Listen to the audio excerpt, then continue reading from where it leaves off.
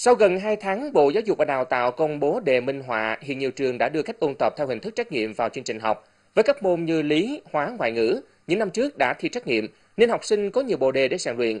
Trong khi ở những môn lần đầu tiên thi theo hình thức này thì thầy cô giáo và học sinh lại gặp nhiều khó khăn. Giờ học các môn hóa lý sinh của học sinh lớp 12, những bài kiểm tra theo hình thức trắc nghiệm đã trở nên quen thuộc. Đây là môn học đã được thi theo hình thức trắc nghiệm nhiều năm nay nên nguồn câu hỏi tham khảo khá dồi dào.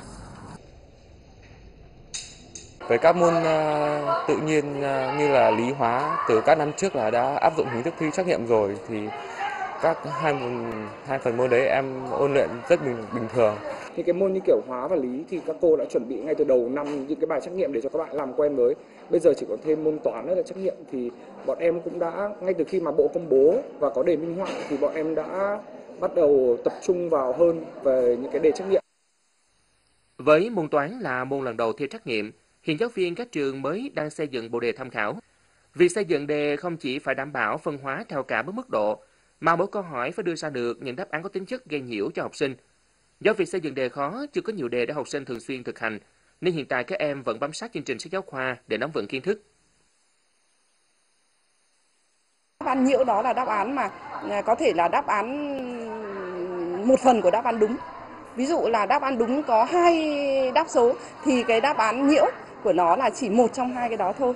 Đấy tức là nó thiếu cái điều kiện để ra được cái đáp án đúng thì học sinh nó sẽ chọn cái đáp án nhiễu đó thì cái cách viết đáp án nhiễu cũng là cái cách mà cũng là cái mà chúng tôi ờ, còn đang phải phải phải học bởi vì uh, ngân hàng đề thi chưa có nhiều như chị nói cho nên là học sinh chưa có nhiều uh, cái phương tiện và cái uh, tài liệu để mà ôn tập ấy ạ.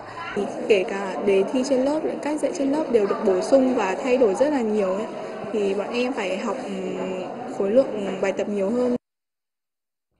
Đại diện nhiều trường cho biết đến thời điểm này, điều khiến nhiều trường băn khoăn đó là việc kết hợp 6 môn thi vào hai tổ hợp môn khoa học tự nhiên và khoa học xã hội.